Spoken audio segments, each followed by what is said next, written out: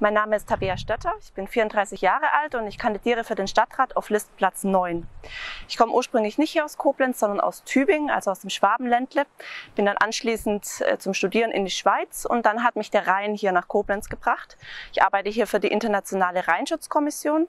Wir koordinieren die Zusammenarbeit der Staaten im Rheineinzugsgebiet für die Bereiche Wasserqualität, Ökologie und Hochwasserschutz. Also drei sehr spannende Themen und die Arbeit macht auch nach wie vor sehr viel Spaß hier in Koblenz.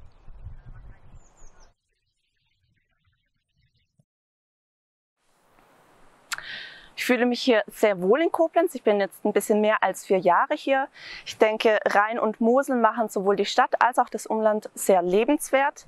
Und Koblenz an sich und die Bevölkerung hier habe ich als sehr offen und feierfreudig erlebt. Gerade mit den Festivals, die hier stattfinden, gerade so in der warmen Jahreszeit. Ich habe sehr viele nette Leute kennengelernt, sei es auf Salsa-Partys, bei Kulturveranstaltungen, sehr viel engagierte Leute in den Verbänden, Umweltverbände etc. Und ja, ich fühle mich sehr wohl hier.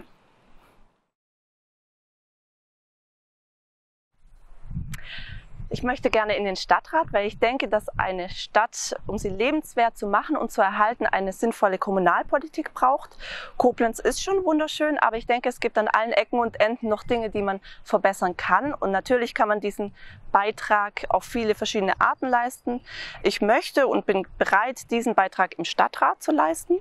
Ich denke auch, dass ich durch meine Arbeit schon so ein bisschen Erfahrung darin habe, wie man einen Konsens findet, gerade wenn verschiedene Positionen und Vorstellungsweisen aufeinandertreffen.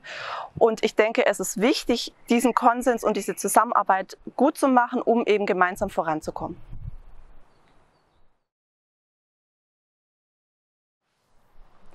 Die Themen, die mir wichtig sind, hängen natürlich mit meinem Hintergrund zusammen. Ich habe Umweltwissenschaften und Klimawissenschaften studiert.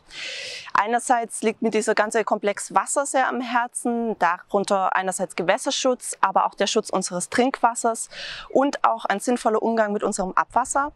Und ich denke, Koblenz kann insgesamt noch etwas grüner werden. Die Grünflächen, da ist noch äh, etwas Bedarf. Das ist einerseits gut für unser Stadtklima, dann auch für unsere Luft, für unsere Insekten, für unsere Bienen. Ich denke, da können wir gemeinsam noch einiges machen.